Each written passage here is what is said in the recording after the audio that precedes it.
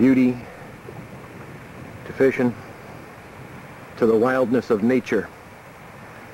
Well, what's going to happen here, Red, as we go down this chute?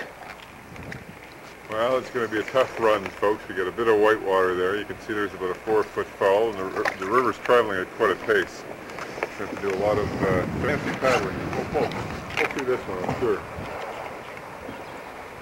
Stay tuned, folks. Live on the Red Fincher Show going down incredible rapids.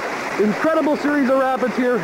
Ladies and gentlemen, this is part of the wild, wild kingdom of the Red Fincher Show. Let's see how the boys are doing up ahead, Red. Oh, they've made it through safely.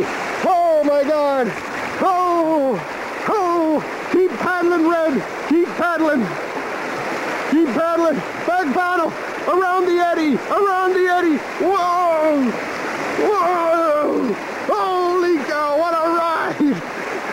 Red, I think... Wow.